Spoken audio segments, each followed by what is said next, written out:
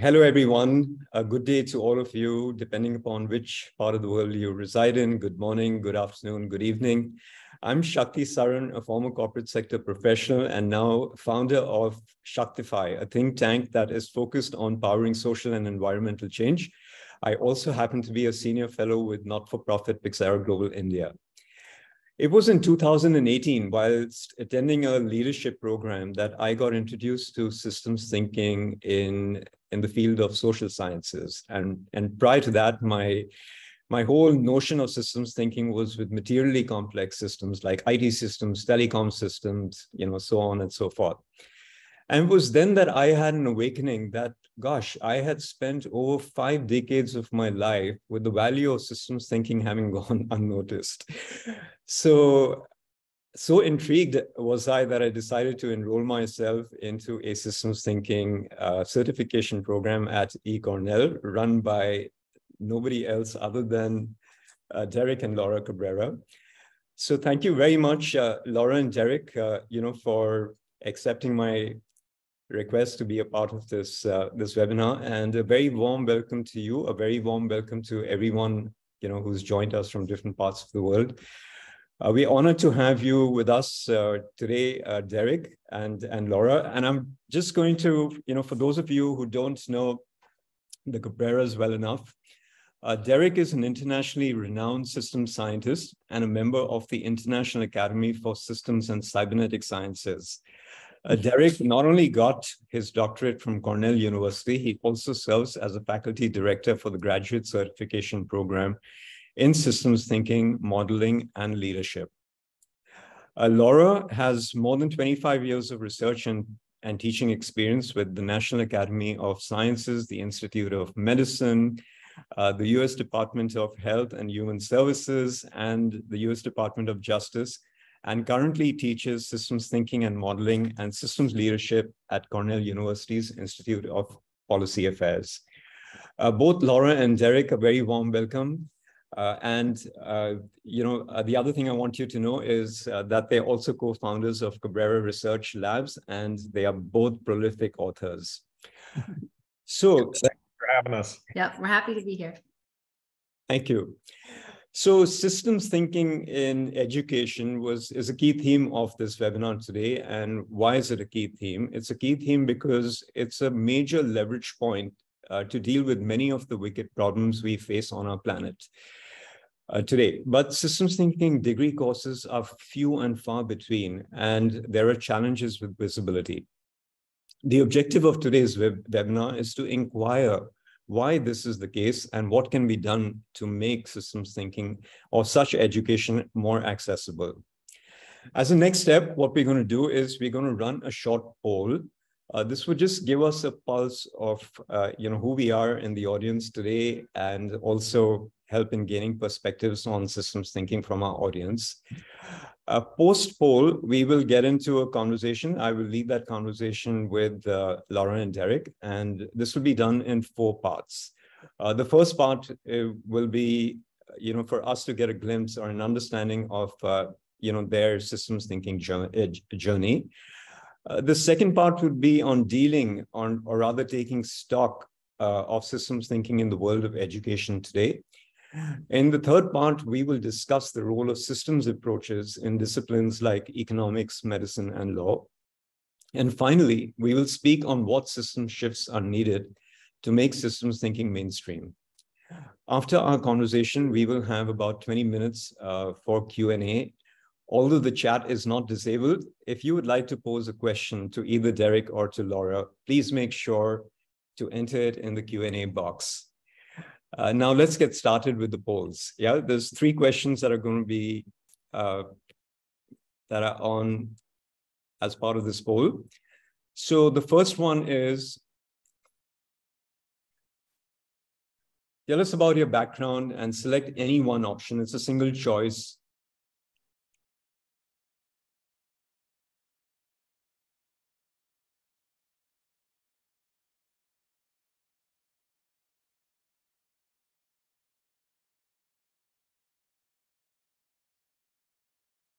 Do you work with a social service organization? Do you work with a private sector corporation? Uh, are you working with the government? Are you an independent professional like a teacher, a healthcare worker, lawyer, writer, artist, a scientist? Are you a student or a householder?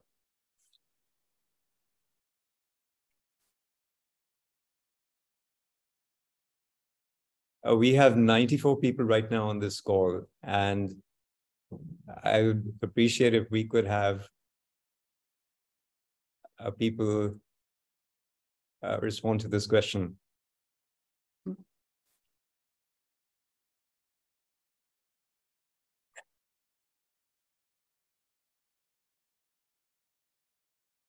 Okay, so I'm moving on to uh, the second question. Anybody need more time on this?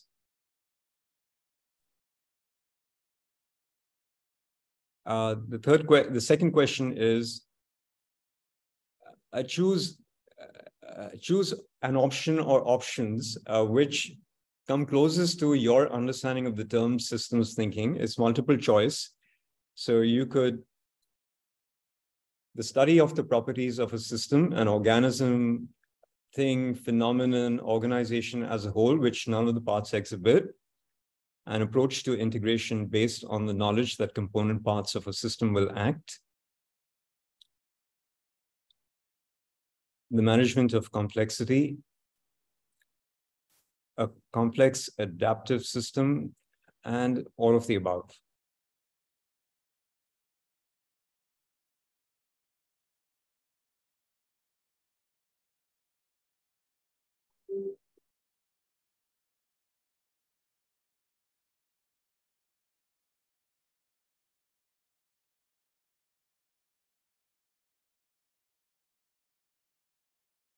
We have 59 respondents so far.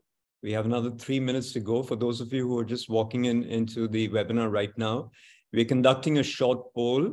Uh, there's three questions in the poll. Please uh, take a look at the questions and respond appropriately.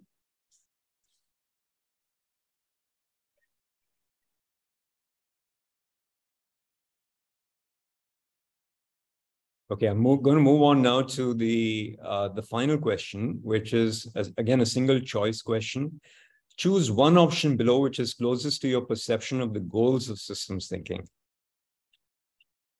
Identifying more systemic solutions to wicked social problems.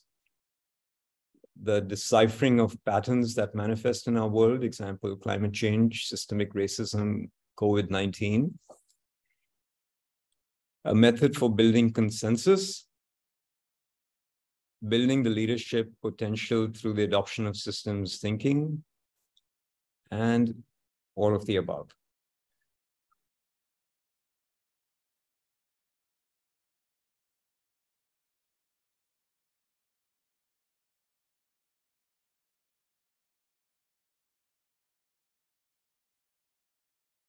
Uh, 78 respondents.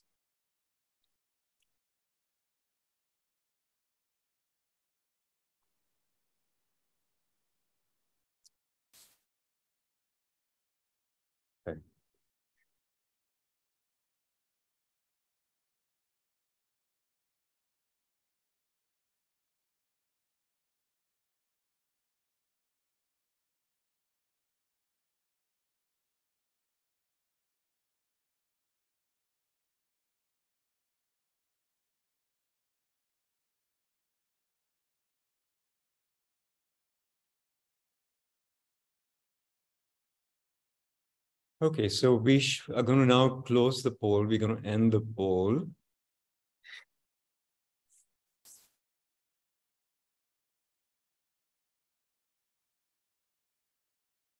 All right. I'm going to share the results for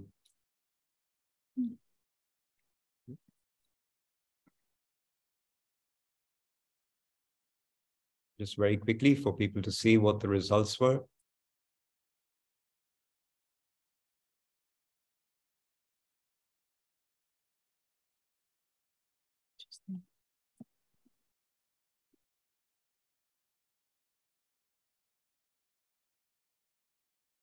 Okay, wonderful. we will now get started with our, main webinar today. Uh, you know, uh, there are uh, the, the, registrations that we got for this webinar are from people from across more than 50 countries. So we're just very pleased with the diversity of people from uh, different areas of the globe who are on this uh, uh, on this webinar today. So if you'd like to uh, mention in the chat where you're joining in from, that would be great. Uh, I'm going to get started with uh, my questions for the Cabreras. And this, the first part of the, the webinar is the conversation is on uh, Derek and Laura's systems thinking journey. So a question for uh, both of you, Derek and Laura, you've just seen the poll results. Uh, tell us what is systems thinking from the way you understand it and why does it matter? And can you also tell us what systems thinking is not, just for us, for all of us to be clear? Yeah, there's there's a lot of confusion on that actually, and um, and and part of that is that systems thinking is has been around uh, formally for you know 70 years informally for over you know maybe 100 150 or depending on who you ask 2500 years all the way back to lao tzu or something like that. Um, and but but modern day systems thinking we know a lot more than we used to uh, as as we understand the human mind and how it works and bias and things like that. Uh, modern day systems thinking is really about matching our mental models getting our mental models more in alignment with the way that real world systems are you know behaving or working. And so we, what we've discovered in in the research is that there are really four patterns that our mind is doing all the time and that that nature is doing all the time. And if you use those patterns with greater awareness you can um, increase the probability that your mental model is going to be more accurate and a little less biased in in many cases. And so it's really just the practice of doing these these four things which i'm sure we'll get into. Yeah. And if those mental models are in alignment that means that the solutions, the innovations, the things you're thinking about are going to give you better outcomes because they're more aligned with the reality of the problem.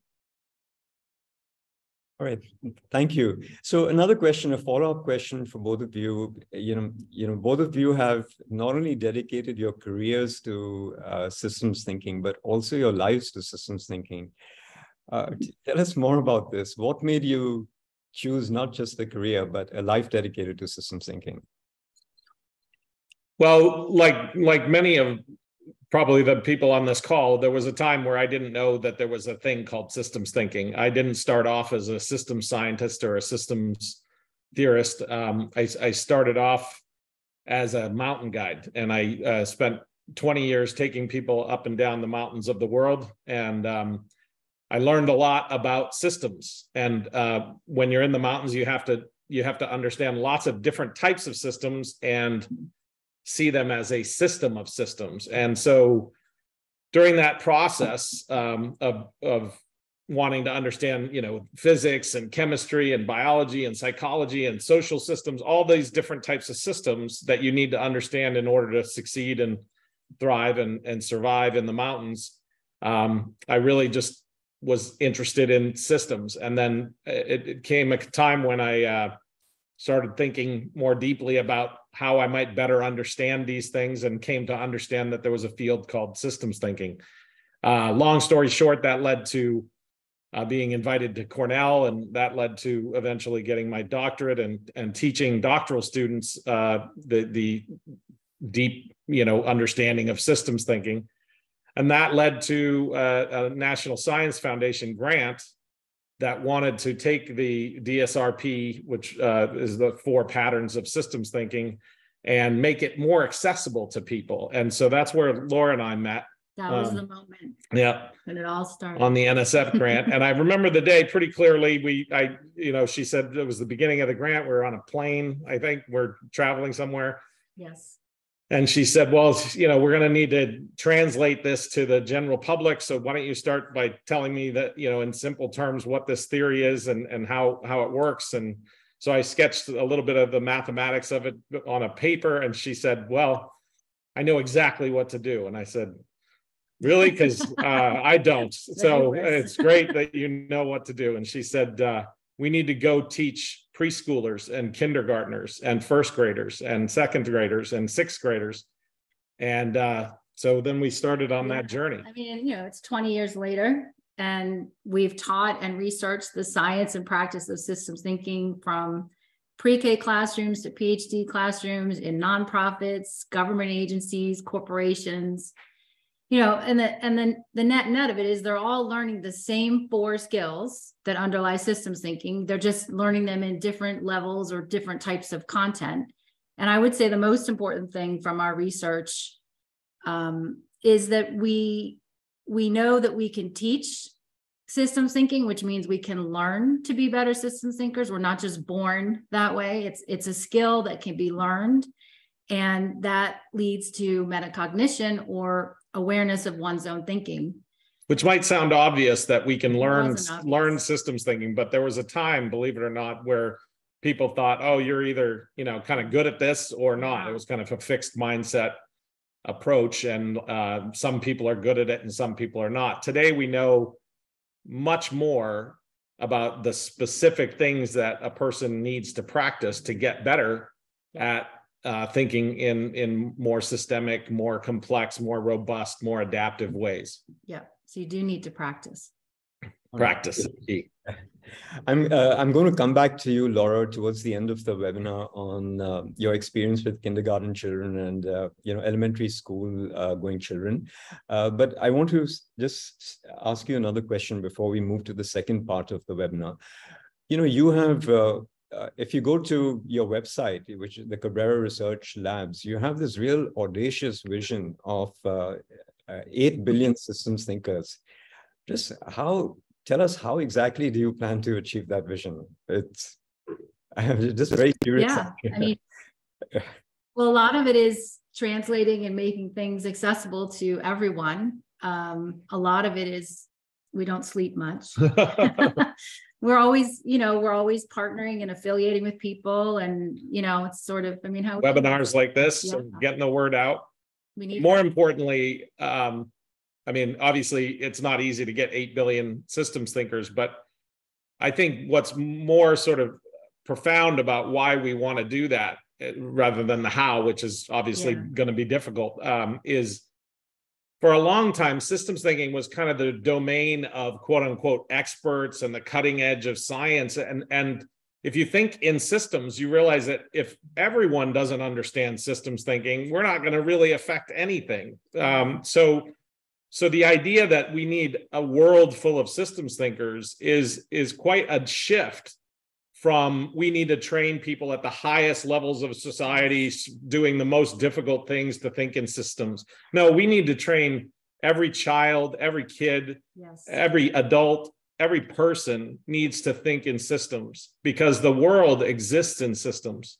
And so it's it's just really clear that we must do this. Now how we do it, you know, it, it, it's challenging and and we're just going to keep trying. Yeah, for sure.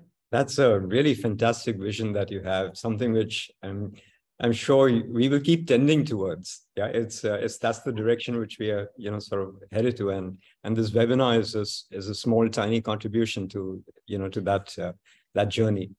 So- Reality will be a forcing function there. Yes, it will. Yeah. All right, great. So I'm going to move on to the second part of uh, you know the the webinar, which is taking stock of systems thinking in the world of education today. And uh, I know I saw a comment right just as we began in, in in the chat that systems thinking was much more than degrees, much much more than college and university degrees. But uh, I'm going to come back to that a little later. But firstly, for the benefit of our audience, and in your view, is systems thinking is it a method? Is it a theory? Is it a discipline? Or is it a way of life? What is it or is it all of them? Uh, can you just throw light on that? What you know before we get into uh, into systems thinking and education. Yeah, Yeah. so uh, that's a, a nuanced question. So I, I think in the past, a systems thinking has been thought of as as mostly methods or frameworks of various kinds and there were different tribalisms of which framework you're a part of or which method that you uh, you know were trained in or and that type of thing. But i don't think of systems thinking as a method or a framework. Systems thinking is a deep understanding or an awareness a metacognition if you the scientific term is metacognition an awareness of the way nature works and the way in patterns and the way your mind works in patterns and how we can kind of get those as close to an alignment as possible. They're they're never going to be in perfect alignment, but to try to get them in, in better alignment.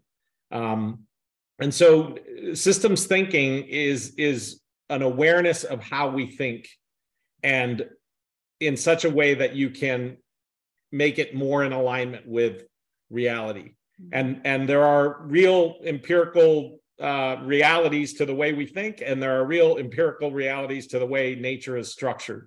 Right. And um, and so in that sense, it's not really a framework any more than gravity is a framework or you know anything like that. You you don't get to choose whether you're using these thinking patterns. What you get to choose is whether you're aware of them. Yes. Uh, all right. So I'm going to ask you a question. It's uh, the scene in India here today is that we have over 100 institutions, academic institutions that offer degrees in systems engineering, but barely one or two that have a credible offering in systems thinking. Can you help us understand, you know, and I'm, I'm pretty sure that this would also be the the case in the US, though, in, in different degrees, not the, the same degree that it is that we see here in India. Uh, but why is this the case? And what is the relation between the relationship between systems thinking and systems engineering? Yeah, can you help? Can you help us just clarify that? Um, well, there's a couple parts to that yeah. question, right? Uh, do you want to talk about the relationship between engineering and systems thinking? I can talk about what we do here. So yeah, why don't you start with the? Well, so I mean, if you think about it, you know, systems thinking at this point is not um, it's not embedded or integrated into curricula at any large scale K to 12 or above in the US at least. And one of our frustrations is that any kind of thinking course lands as sort of a standalone class in high school, like critical thinking, design thinking. They even have these courses called life skills, which are really emotional intelligence. Um, and you know what we have always been saying and we've been really working on and testing is how to actually embed systems thinking inside of all of, all of the existing sort of course content from pre-k all the way up so that it's like a, a tool or a backpack that a student can take with them in anything that we're teaching them and that and that they are learning. So you know what we want to try to get to is students having that sort of ability with knowledge of understanding how they're understanding things. And that is the most useful tool that we could teach them at any point in their educational career in my opinion right? Yeah what what laura's saying is, is super important because it's a, a radical shift to the way we teach thinking yeah. and systems thinking yeah, the classic kind of thinking is like, oh, sophomore year, we'll teach them a critical thinking course. Well, A, sophomore year is a little late. late. And B, you, thinking is the thing that you use to understand, right? So, so it should go alongside the content. It's not there's content and then there's thinking, and like we just need a little bit of this. We need thinking throughout and totally integrated throughout the coverage curriculum um, and, and so if we don't do that, if we don't get away from what students are learning is based on what the teacher is covering, which is a, a very flawed notion. Um, and, and in order to make a class more advanced, we just increase the amount of information, especially in an age where information is effectively, you know, cheap, yeah, right? Uh, really, what matters is the thinking. So what we did in schools is is we we put thinking in parallel with the learning of content. We didn't set it aside as a separate class in a separate year, uh, but it was constant alongside the um, content. Yeah, and the only thing I want to just add is you said information is cheap but remember also misinformation is really also cheap. plentiful. And so we need to develop that ability to challenge how things are presented to us, to be more thoughtful about information as it's coming into us and using our own methods of getting feedback against the real world to test the veracity or the validity mm-hmm. of what's being presented. Because, I mean, we've seen this in the last six years a lot, right? That that's a huge problem, at least everywhere. And then on the on the systems engineering question, which is uh, very related but but obviously different. Um, we work a lot with systems engineering departments around the around the country and around the world. Um, and you know systems engineering is a fantastic thing What we need more of it. There is again this um, content tyranny what i call content tyranny that the the content has runs tyrannical over the curriculum. And we think of systems engineering as just sort of like a bunch of different types of engineering electrical engineering chemical engineering mechanical engineering and, and you can kind of have broad knowledge across all of those. And then you get a little bit of like systems concepts laid on top of that. But really fundamentally systems engineering is your your your understanding at a deep level systems thinking and then applying it to engineering problems, all of which are systems to begin with, most of which are socio-technical systems. So uh, it's very rare that you have just a technical system or just a, a social system or just a whatever system. So it's very interdisciplinary to begin with. And, and so what we need is to increase the thinking part, the thinking skill of engineers to make them systems engineers. Um, and that is, frankly, across the board, quite a weak component of systems engineering programs. Hmm. Although they're more getting more and more aware of this and and getting more and more focused on it. So what you're saying is that uh, systems thinking needs to be a part of the DNA of uh, you know all the all the courses or degree programs or you know whatever that universities and colleges offer. Uh, but i heard you saying laura that that is uh, even in the us that is not the case.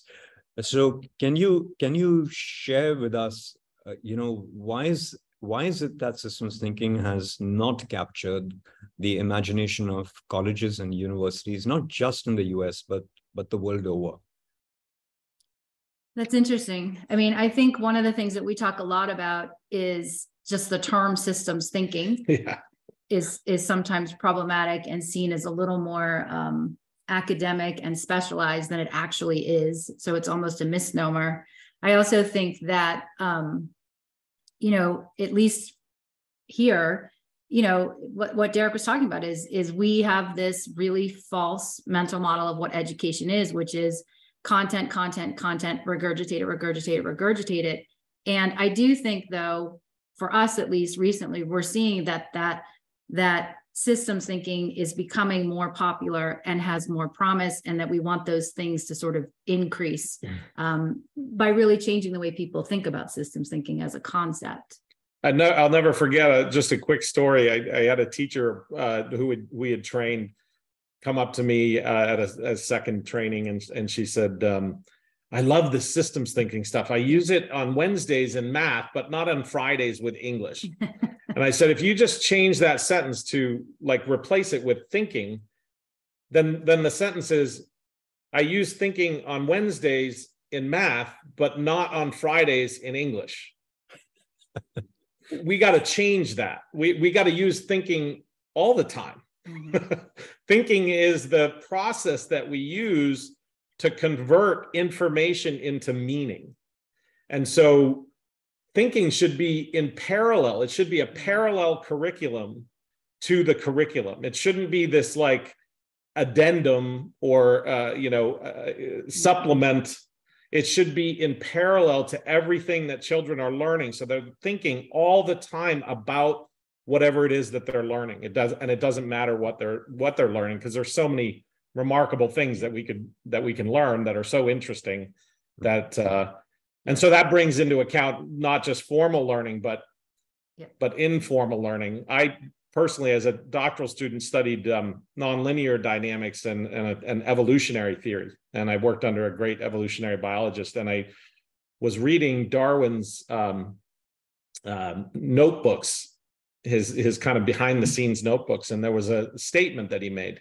And Darwin's theory is one of the most important, you know, theories that we've ever known or in science. And he said, he said these words. These are uh, this this changed my life. I still today get chills when I am about to say it.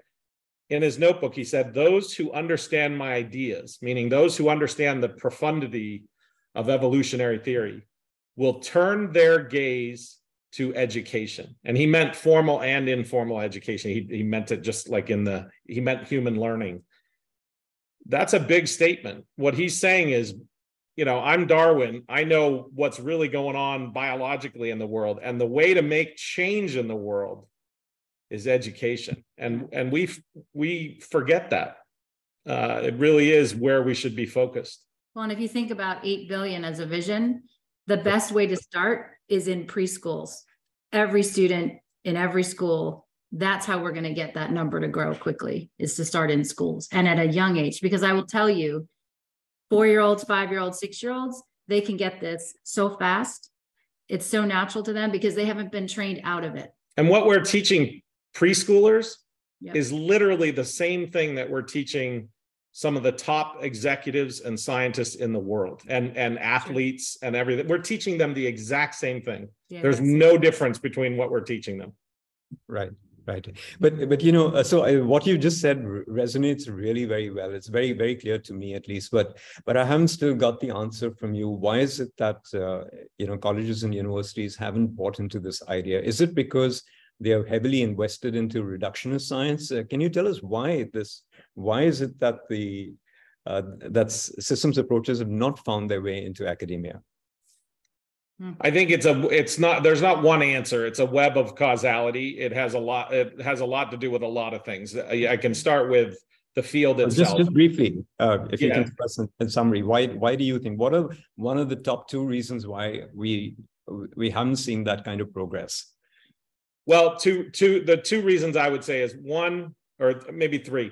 Uh, one, the field of systems thinking itself has been very convoluted and and has not has not focused enough on making ideas accessible and tangible and translatable to everyday people everyday life um, and so that's the first thing and, and, for 70 years it's done a lot of tribal infighting rather than looking for sort of universal patterns that that underlie all the different tribes of systems thinking um, so that's the first thing we can we can get better at helping people get an understanding of systems thinking quickly and practice it. Um, so that's the first thing.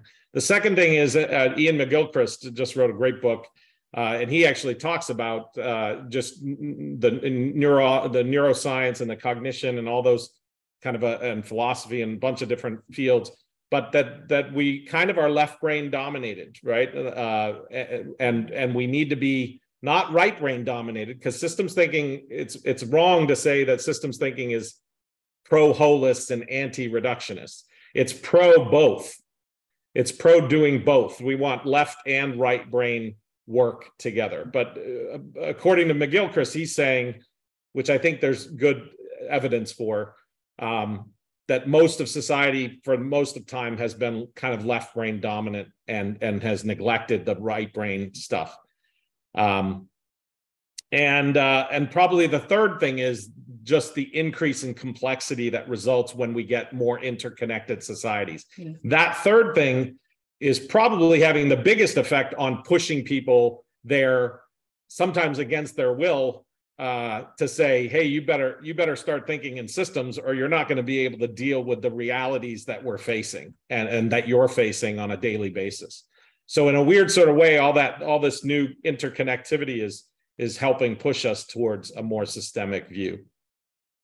All right, terrific. Thank you very much for that clarity, for those insights. I'm going to move to the third part of uh, our conversation, which is the role of systems approaches in disciplines like uh, economics, medicine, and law. Uh, we'll try and cover at least two, and if we have the time, we'll also do the third one. Uh, so let's just start with the discipline of economics. Yeah, so the very word economics is uh, the source, the root word of economics is from the Greek word oikos, which uh, stands for, which means our house, our family, our planet. Yeah, in other words, it's our planet. But that also happens to be the root word of, uh, you know, the discipline of ecology. But what we see right now is in our academic institutions, uh, both economics and ecology are so divorced despite being two sides of the same coin. And you have economists who don't know the very basics of ecology and you know vice versa. So what systems approaches can we use to bring them together? Uh, you know, so that's I'd just love to hear both of you, you know, share your thoughts on this. Yeah. Well, I'll just start with sort of where we're situated now. You know, right now we're teaching uh, graduate students in a public uh, public policy, public affairs program, and they're from all over the world, and they all come with uh, from different backgrounds, different disciplines, but they all are coming with some sort of presenting problem. And one of the things that we really talk about is that you know, if, if systems thinking or DSRP are the underlying structures of your mental models, this is true regardless of the discipline or the training you come from. And what systems thinking also tells us that we need to look for the relationships across disciplines and move towards that greater interdisciplinarity because it's how the knowledge of the world actually exists, right? In other words, as you were saying, like an economic problem is often also a social or a political or an ecological program, a problem. Right. What that really means is we need to recognize that the problems we see are not respecting these disciplinary boundaries. That means neither will the solutions, right? Which means that our thinking must match the complexity of the problems we face. And that's what a lot of our work and research in our program is about. And that's really what DSRP does. It aligns that complexity of our mental models with the complexity of the real world, which means we're training our students to see those webs of causality, to innovate more, um, to find new approaches to these sort of, and you know, they come with these seemingly intractable, massive problems uh, you know, economic, political, social, whatever. I mean, they come from all over. And, and I think that getting them to sort of see those boundaries as artificial has really helped in their work. I mean, how would you? Yeah, I would just uh, piggyback on that. That uh, you know, the fa- we I think we all are aware of the famous uh, biblical story of the Tower of Babel, yeah. where you know God sort of spites the fact that they're working together to build to the heavens and, and makes it so they can't understand each other. And and to a large extent, that's where our disciplines are today, is they they speak in languages that can't be understood. And what DSRP does, distinctions, DSRP stands for four patterns of thinking that mix and match. Uh, that make up the way we think. So it's D is for distinctions, identity, other distinctions. S is for systems, which are part whole. R is for relationships, action, reaction relationships. And P is for perspectives, point and view perspectives. And we mix and match those.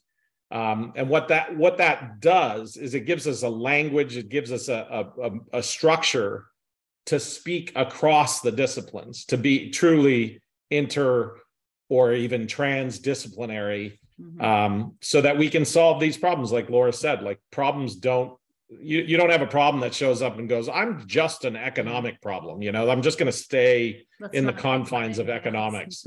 That just doesn't happen in, in real life. So dsrp kind of gives you that that ability to speak across the disciplines and not just academic disciplines disciplines of of just practice disciplines of of being human in different worlds and different expertises well, and I think that's what you're talking about with reality is going to be a forcing function. We're not going to have a choice. Yeah. but to start thinking differently because things are presenting in such a different way, um, in such a sort of multifaceted Absolutely. way. So and can we can we apply DSRP to let's say to medicine and to law? Yeah, can you give give us examples of uh, or is, has there been any part of your research where you've tried to take these uh, this this thinking into into these disciplines? Just as and, and, and to substantiate. So if you just look at western medicine today it is so super specialized and it's unidirectionally focused on tackling symptoms yes to the exclusion of root causes which might lie in our environment not even in our body.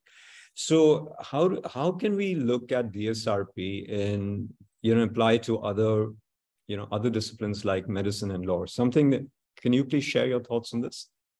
Yeah, at a, at a deep level. So if you take law, for example, and then I'll do medicine, but the, at a deep level, law, for example, is based on a, a, a, thing called bivalent logic, right? Which is means that you have kind of basically two options in whatever you're, doing. So guilty, not guilty, that type of thing. Um, what DSRP does is it makes it it allows you multivalent logic, and nature and systems is based on multivalent logic, which means there's more than two options, right? Things can be gray, things can be ambiguous and and things like that. Um, and so yeah, we've had doctoral students that have gotten PhDs in in law, law and uh, and applied DSRP to the law. Mm-hmm. Um, on the other side, medicine, for example, medicine's based really largely, not entirely, but really on X causes Y, super linear, decontextualized causality. Well, we know that there is no there's no single causality anywhere in the universe. Everything is a web of causality. So we could we could get more expansive about how what are the webs of things that lead to this, right? So uh, when you get some kind of diagnosis, what are all the things that the web of things that leads to that diagnosis? And we could be more proactive in our medicine about seeing webs of causalities, webs of relationships rather than single causal relationships or even root causal relationships. They're really, nature doesn't work that way. Nature works in webs of relationships, not yeah. you know, this causes this and that's all there is to it. We actually have a recent graduate from our own certification program at our lab who started her a, a nonprofit in the area of health for precisely this to integrate across the different types of medicine and change the perspective that we're taking on our own wellness. And it's it's pretty fascinating to see what she's doing in her work. But but i, I do want to say one more thing if, if that's okay. Um, i think it's really critical that you, you asked about why is it that it hasn't taken form? And even this conversation is pretty up there in the clouds right? And and that it makes sense for this webinar but we have to get people to understand you can understand the basic ideas of systems thinking in five minutes or uh, you know maybe an hour but you're never going to get good at systems thinking until you practice it it's just like the violin or the piano or or you know uh, you know jujitsu or any other practice. And so a lot of what we've done is translate this these kinds of ideas into what we call moves. Like, you know, like you do a move in the gym or something like that, right? Exercises that you can practice and you can train your brain to get good at these things. And and so it really isn't about understanding a lot of ideas. It's really about practicing a bunch of moves and that's really how you're going to get good at actually doing systems thinking. And we know what those moves are from the research. Yeah. Fantastic. A web of, uh, of causality and uh, this whole thing you said about, uh, you, you, know, about practice. Yeah. I can't wait to see this getting more pervasive. Yeah. Fantastic. yeah. yeah, I'm going to move to, you know, the last section of our webinar, which has got to do with the systems shifts needed to uh, make systems thinking, uh, you know, mainstream. Uh, and I'm going to begin with you, Laura, here, because you've worked with kindergarten children, you've, you've worked with elementary school children, uh, and you've touched upon it at the beginning of this webinar. So what is it that we need to do with, uh, with children, you know, from kindergarten upwards, high school students? How can we make our children, uh, you know, more receptive to a systems way of life? Uh, that's a great question. So, I mean, to us, and we've seen it literally in the classroom at the micro level, you know, it's in those every teachable moment where we're encouraging children at whatever age to be reflective on how they came to understand what they've just understood. And we know now um, that we have a language for that, right? And you know, if if a kindergartner can know the word snuffleupagus, which is a character in a cartoon, they can understand distinction, system, relationship, and perspective, or any of the synonyms of that. So what we do is we quite simply teach them these four simple rules in whatever language works for them and have them applied in their everyday work. For example, a small child is making a distinction between colors when they're learning their colors, right? They're making relationships between the states of matter. And it's just a matter of bringing those thinking structures that thinking process to the forefront so that they're being made aware, having that awareness of their own thinking. And the one thing I would say, I think there are a couple of things we have to push up against. One is kids and actually some some grown-ups really think of thinking just happening in the brain like your heartbeats right? They don't realize people don't realize they have agency over their own thought processes and they have an ability to be completely aware of how they're building building mental models.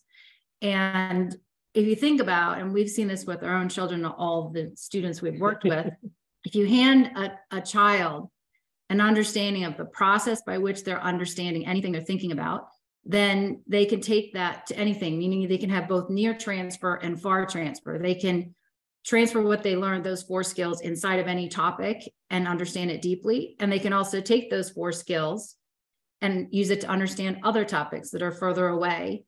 Right. And so it really is, in our opinion, and it's sort of the thing that started getting us up every morning 25 years ago, it is possible.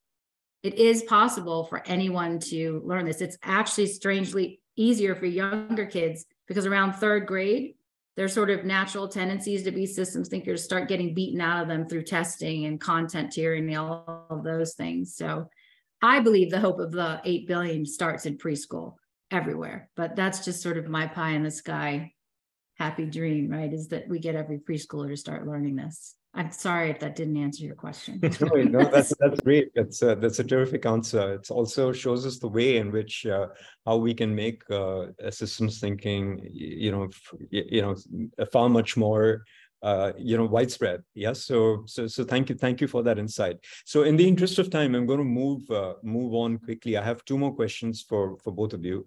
Uh, so the next question is really on uh, coming back to universities and colleges. Yeah mm-hmm. are they the right environment for teaching systems thinking? Yeah are we barking up the wrong tree? Uh, because a university that is not founded on systems principles you know can they really truly imbibe systems thinking? Yes. Yeah. Every place is the right place to teach systems thinking. Every uh, is the right environment. And and you know, it, sometimes I, I ask folks, you know, why do I say that? You know, why should you teach systems thinking? Is it because Dr. Derek Cabrera at Cornell says it, or is it, you know, because, you know, why should we? Well, it's not because of any of that. Right. It's because reality, nature, works in systems. That's the only reason that we should be teaching systems thinking. It's because reality works in systems. So if you don't think in systems, in systemic ways, then you're going to be wrong a lot. Yeah. I mean, it's really that simple. It's not because it's like popular or cool or, you know, some expert tells you to do it or none of that matters. What matters is that we have to get better at reality to save the planet, to save, you know, to bring people up in the world, to make better, you know, better social systems, to make better technical systems that don't have all these unintended consequences. And, you know, to do all those things, which we're going to need increasingly to do, we must think systemically. Yeah. That's why it has to happen everywhere. And that's why it has to happen for 8 billion people, not the 1%. Yes. All right. Okay, great. Thank you. I have one final question for, for both of you, and I'd love to have uh, uh, a take from both of you on this. So, you said during the webinar more than once that systems thinking is about sharpening our mental models. Uh, however, at least here in the East, it's seen as an offshoot of Western science. you know, whilst uh, uh, Eastern ancient uh, wisdom focuses on inner well-being and many meditative practices today enhance the quality of our observation and perception. Isn't there a relationship between the two? And at what stage will Western science be receptive uh, to make Eastern perspectives mainstream? That's a, That's a great question, and I think I think this is the crux of systems thinking. I think it, it is there is a very very very popular misnomer out there that systems thinking is about holism. That is mm. absolutely false. Systems thinking is not about holism. Systems thinking is about holism and reductionism. It's about the whole and the parts. It's it's and both thinking. It's the middle way thinking. And the middle way, literally, the Tao translates as the middle way. And I believe that the very first systems thinker was Lao Tzu, who wrote the Tao Te Ching. And what he described, actually in Yin and Yang, is is what we today we scientists call at the highest level we call those coupled oscillators yin and yang is just a coupled oscillator right? So he described that 2500 years ago and it's still a fantastic representation of virtually all the things in nature that occur. So uh, I, I think that systems thinking is the the bringing together of left and right hemispheres of the brain. It's the bringing together of east and western thought styles. It is it's the bringing together not the not the constant pendulum of we've had enough of this so let's do more of this and we've had enough of that now so let's do more of this it's it's the middle way systems thinking is the middle way always That's true. That's true. it's the genius of and both rather than the tyranny of either or All right. Terrific. Laura, your take on this? I mean, all of that plus, I mean, I, I mean, maybe I could do this in a story, a quick story. So we have, you know, worked with all kinds of youth and and different groups of people. And one of the things that struck me the most is we had the opportunity to work um, in a program for adjudicated youth, meaning um, kids who had gotten in trouble with the law and were put in a separate school to be taught um, their course content, but also to be in ongoing therapy for to reflect on themselves and their behavior. And there was one day where we got a letter from a student in one of those programs that made us both kind of tear up and cry, which was he said, I've been using DSRP systems thinking and my my biology grades have gone up, my math grades have gone up.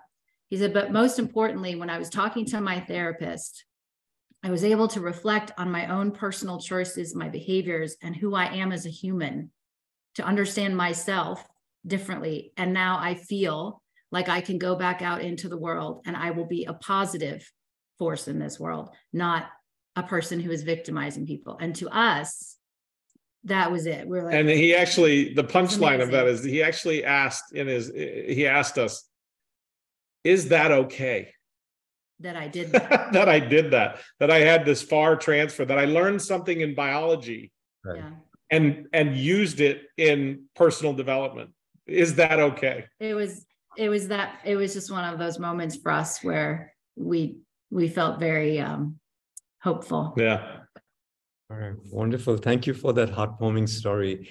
So uh, I, we're going to move on to the Q and A section, and uh, I think that I can see many. I can see that that the chat has been very vibrant, uh, and uh, uh, we are very thankful to have Christian Sprague today with us.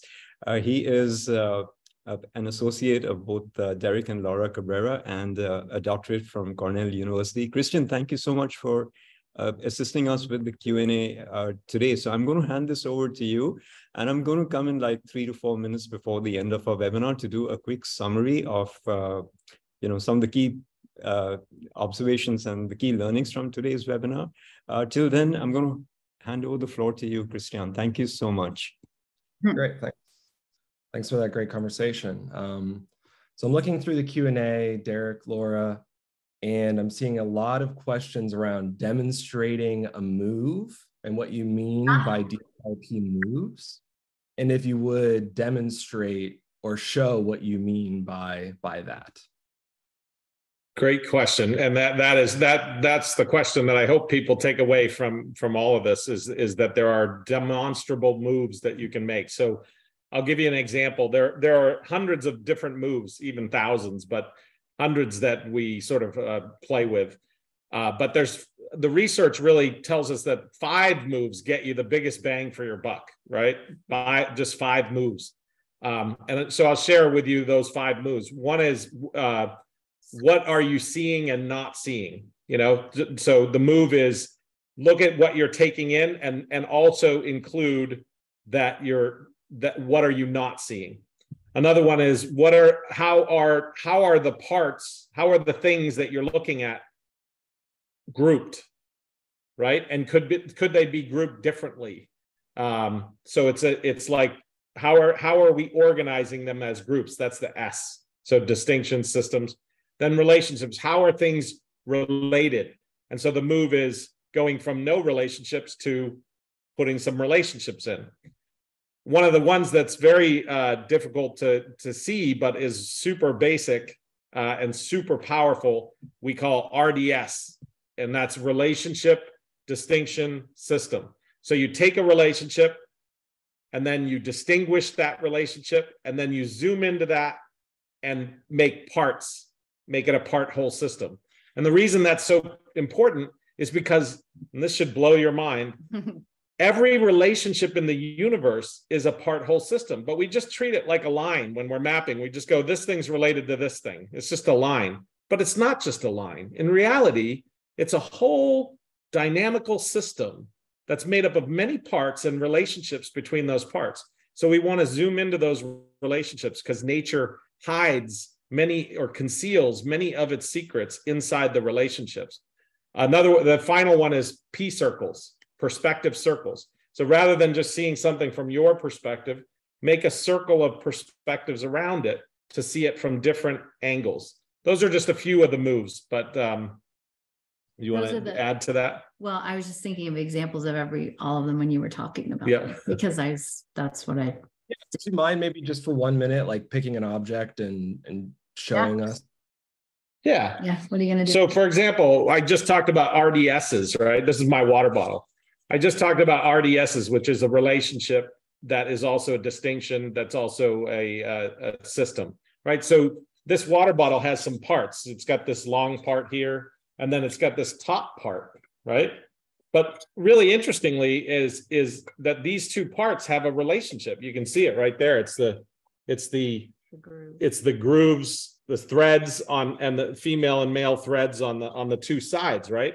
And now we see that that that's actually kind of a, a complex little system of threads that goes together, right? So it's a whole part, whole system. And you can imagine if you're a designer of, you know, say your whole world was designing threads, you would understand like how thick those need to be and how far apart they need to be and you know all the tolerances and uh, you know you would realize wow that's a really actually a very complex little relationship between these two things and that's that's just that's everywhere you look right? Here's another two parts. And this has a relationship which is just simply based on friction and and um, a you know male female part right? Every single part this this whole piece has parts to it that are related. And every one of those relationships is a, a system. So dsrp is just telling you that as you distinguish parts you see the relationships between the different parts and each other and then you zoom into those relationships and you see those as systems itself that are related. And you look at that whole system from different perspectives. For example, we did a study actually similar to this, which is well, this is a water bottle. We made a distinction. It's a water bottle. But if somebody attacked me right now, I suddenly wouldn't see this as a water bottle. I might see it as a weapon because it's heavy and, and it's hard, right? So the distinctions we make and the relationships and the part whole systems will change when we change the perspective and we see something completely different. Just to move it just two seconds uh, beyond water bottles.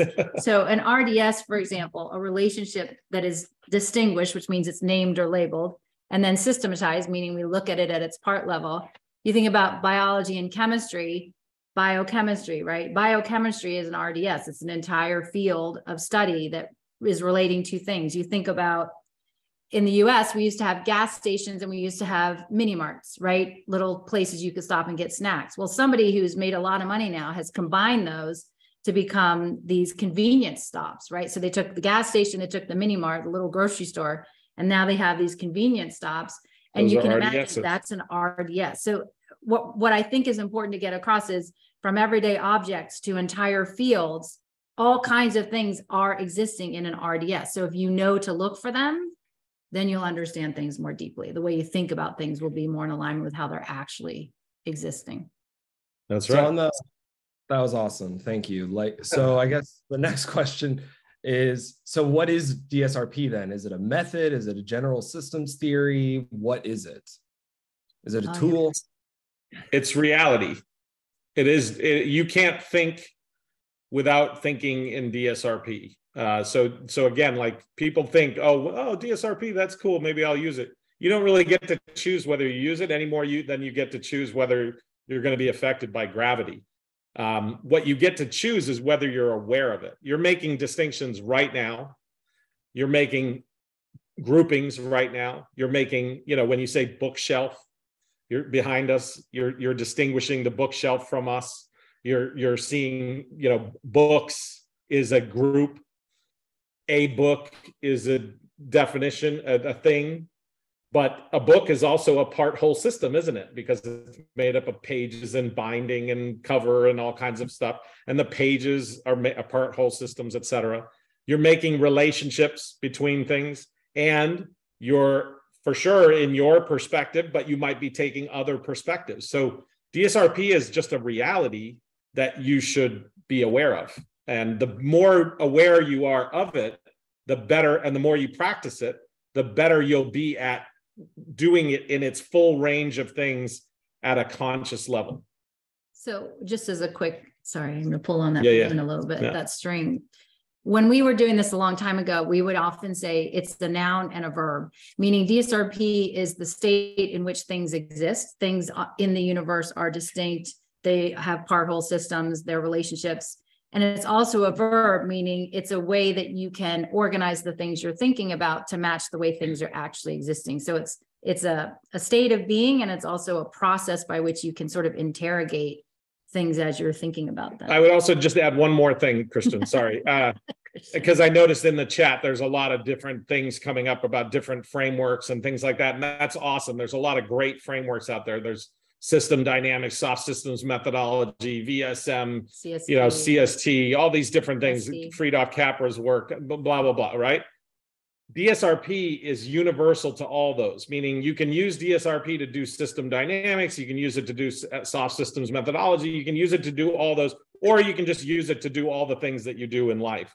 So it's a it, they're universal patterns that underlie all of the systems frameworks, um, which means that you don't have to spend you know when i came to the discipline i literally went around like like that book uh Oh, are you my mom? are you my mommy? And i, I was trying to figure out the discipline. So i went to the, all the great systems thinking experts and interviewed them all over the world. And i said you know tell me what systems thinking is. And it, the answers were just like wow how am i ever going to understand any of this? This is crazy. There's too many things. I have to spend the rest of my life you know learning 7000 different methodologies in order to understand what systems thinking is. So i said i don't i'm not really satisfied with that answer. I think that, that this feels more tribal than anything else. It what what i wanted to discover was what are the patterns that i have to get good at in order to be a good systems thinker? And i don't care what tribe or what framework or what model just what are the patterns that i have to be good at in order to be good at systems thinking. And that's what we need 8 billion people's 8 billion people to to do is be good at systems thinking. I don't care what where their training's from or where you know what, what tribe they're part of or whatever. We just need them to be good at systems thinking. Yeah. So that was awesome. Question. I'm seeing some questions around like tactical, what can we do Yeah, today? yeah. This in education or advance this to solve a problem that these people you know, that our guests are having in their lives. So So here's tax- the thing. Yeah. Yeah. If you want to get started, I want you to just actually on our website, there's this thing called the 5Q poster that you can download for free. Anything you're thinking about, ask yourself at least one of the questions that we've talked about mimic the basic moves. Like, what are the distinctions you're seeing or the things you're not seeing, right? How are the things I'm thinking about organized into part whole systems, right? Or could those parts be organized differently to bring out different meaning? Or ask yourself about anything like, are these related? Are they not related? Can I further understand that relationship? So it's literally just interrogating or or questioning how you're coming to understand things with those questions like what are the distinctions i'm seeing how are things organized into systems how are things related or not but i think related is better And are there other perspectives that I could be looking at this thing from that would give me a deeper understanding of it or a more uh, complete view of a system? Right. And if you just start there and do kind of like what Christian did at the beginning, where he said, Can you do it with just a regular object? Don't try to start with like healthcare or you know all of education. Start practicing so that you're burning the neurons on a coffee cup or a table or you know whatever or billboard as you're driving down the highway. Uh, deconstruct what the billboard is doing or what it's trying to get you to do or whatever. And um, and just start simple and then you can start applying it to increasingly more complex stuff. But it really is just practicing the moves. That's you, you can learn Laura said you can download that thing for free on our website, cabreraresearch.org. Which is true. Which is true. Just go there. But right above that thing is a 12 minute video. And if you don't know what DSRP, just watch the video. It's free. Just watch it. And it'll, you, you, it'll, it'll tell you what DSRP is, and then you and then you'll be able to start practicing the moves. Yeah. That's the important part. I mean, even things as choosing between coffee and tea, that's a distinction you're making if you just start to sort of see it all around you, then you'll start be able to apply it to the the sort of more complex things that you're thinking about. And also, I would say have fun with it. Like I think part of it is just being playful with it. That's that actually is really important. I think a lot of people are like, "Am I doing it right? What if I do it wrong?" Don't don't worry about that. Just have fun with it. It's just like any other practice. Like if you make violin a, a death march, you're not going to end up loving the violin you know? If you make weightlifting you know painful you're not going to love it. Go in and enjoy yourself understand you know feel your body feel feel the practice of it and have fun with it and you'll get good at it. And and within 2 weeks if you practice you're going to you're going to say to yourself wow, how did I not see all these things before? I'm start, I'm starting to see so much more around me than I've ever seen before. Yeah. And whatever age you are, you're going to say, how did I make it to this age without seeing all these uh, these things that that are that have been around me all all along? They're there. Yeah. They're not new. They're already in you. You're already doing it. So, we have two directions um, potentially I see a fork in the road in the kind of questions that we're going to be talking about. So I'm going to let you pick where yeah. you would rather go. One is on um, success you've had in kind of selling or like convincing people that they need to learn systems thinking, specifically within education. And mm-hmm. what kind of uh, things do you do to impact our education system to be able to be more open to systems thinking? So that's one potential path that we could do. Another path is like, what do you mean DSRP is universal? How does this compare to all the other frameworks and models? And isn't it reductionistic to say these things? So either do you want to stay on? you know where he's going and yeah. I'm going. yeah, that's why. That's the, why the, the latter questions, I think we probably don't have enough time to get get a deeper answer in, but but I I I can assure you it's not reductionist. But they're also kind but, of uh, related. Uh, the two. They're things, very related. If you think about it.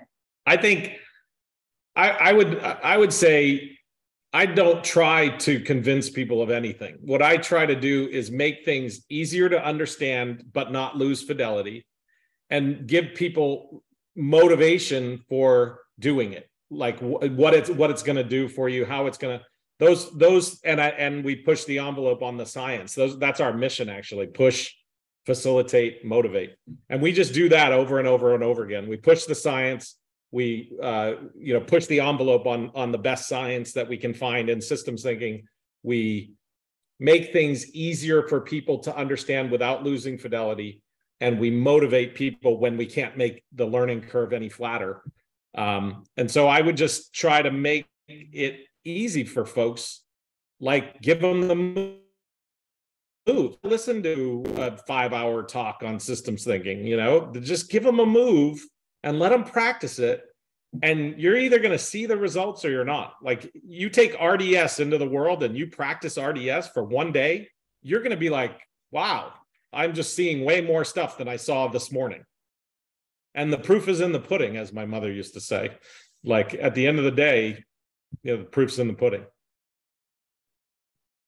Let them taste it. The short. That's what Ben and Jerry's did. They just put the ice cream in people's mouths, right? Well, yeah, but the other sort of short answer to the two questions is, you know, when when educators started to understand that teaching these types of thinking skills across topics, meaning that DSRP is sort of content agnostic, it's more about the dynamics of how we're thinking. They realized that the investment they put into teaching that, the return was far greater because it was happening across topics, across disciplines, just like DSRP is underpinning all of the sort of methodological pluralism of the field, right? DSR and P are embedded inside of SSM, SD, see all of those other frameworks. And so they actually, did you see that relationship? I yes. Because exactly. I'm a systems thinker. I just related two things that seemed unrelated. Yeah. But they were totally related. Good.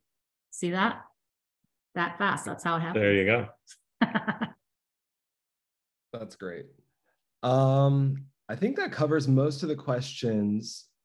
I think there are some ones around um, using systems thinking in like people's personal lives, daily lives, I think that inspiring story really um, tugged on a heartstring or two out there in the audience. So that's good. Do you want to talk a little bit about self help and personal, like uh, using systems thinking in your personal life? Yes. We yeah, I, I, think again, like that little that kid story that we told, I, I think that's really important. Is that like when you know when you can when what what dsrp for me does is it allows me to understand really complicated complex difficult to understand science but it also allows me to like have a deeper conversation with my kids and with my wife. And it helps me understand my dog better you know like it helps me understand systems better. So it's not just a technical application. It helps me understand my own internal emotional systems better because those emotions are systems. And by the way, DSRP isn't just something that's happening in your brain. Your tongue is doing DSRP. Your ears are doing DSRP. Your your your senses, your muscles, all of it are doing DSRP. So um yeah.